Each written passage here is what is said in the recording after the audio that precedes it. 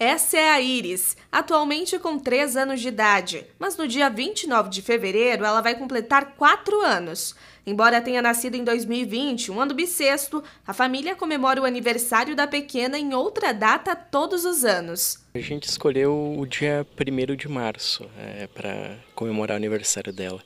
Na verdade, a gente comemora três aniversários dela, porque é, 12 de dezembro de 2022 a Iris teve uma convulsão, uma parada cardiorrespiratória. Ficou alguns dias no, no hospital, mas ela voltou para a gente. Então a gente comemora sempre dia 1 de março.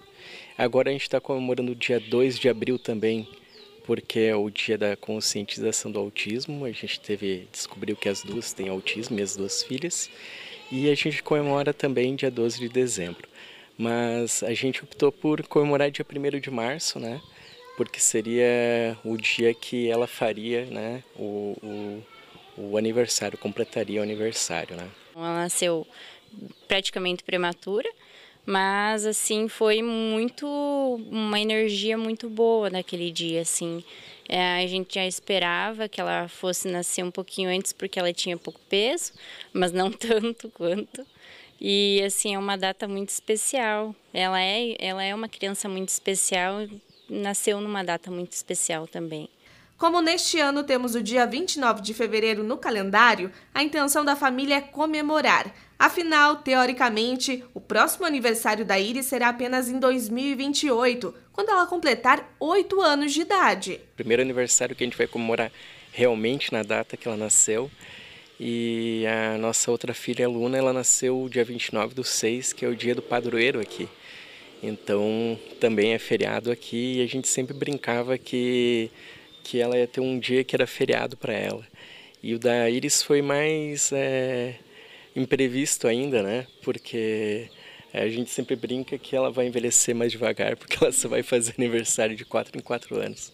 A adição de um dia mais em nosso calendário a cada quatro anos é uma prática antiga, que surgiu da necessidade de aproximar nosso calendário do tempo que a Terra leva para dar uma volta completa em torno do Sol pelo ano civil ser diferente do ano astronômico, o ano astronômico ele não a Terra não completa uma volta ao redor do Sol exatamente em 365 dias. Ela demora 365 dias, 5 horas, 48 minutos e 44, 46 segundos. Isso faz com que seja praticamente um quarto de dia. Então, em quatro anos, final do primeiro ano, um quarto de dia de diferença, final do segundo ano, meio dia de diferença, final do terceiro, três quartos, final do quarto ano, praticamente um dia de diferença.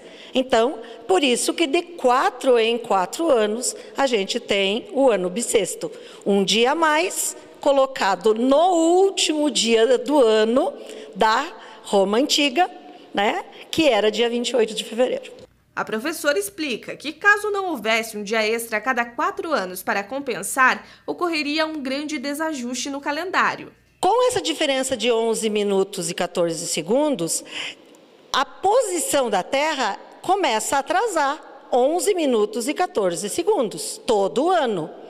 Então ia chegar um momento que nós estaríamos em dezembro, aqui no hemisfério sul, e seria inverno.